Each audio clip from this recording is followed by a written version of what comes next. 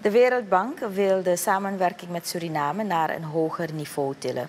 Carlos Felipe Jaramilode, regionaal vice-president van de Wereldbank, toonde zich gisteren tijdens een persbriefing ingenomen met de toetreding van Suriname, internationale ontwikkelingsassociatie binnen de Wereldbank.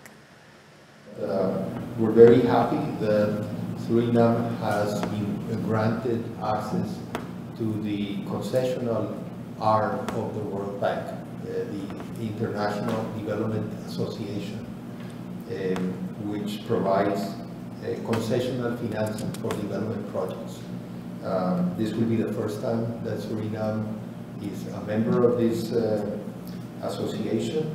We are in the process of finalizing the, the, the process so that it can be formally um, recognized and we are hoping that as of July 1st, uh, we will have uh, access of uh, Suriname to a first allocation of financing. We estimate to begin with about $22.5 million of long-term low-interest financing for Suriname for development projects. Philippe Jaramillo geeft aan dat Suriname in aanmerking komt voor 22,5 miljoen dollars aan langtermijnfinanciering voor ontwikkelingsprojecten. President Chandrika Persat Santokhi zei dat er in Suriname gesprekken zijn gevoerd om na te gaan hoe de Wereldbank Suriname nog meer kan bijstaan. En uh, één ding is uh, uh, duidelijk, dat de Wereldbank bereid is ons verder te ondersteunen. Ze merken ook namelijk dat ons herstelprogramma uh, vruchten afwerpt. Ze merken ook namelijk dat we resultaten boeken. Alle macro-economische parameters die hebben we allemaal gehaald. Dat kent u inmiddels uh, allemaal al.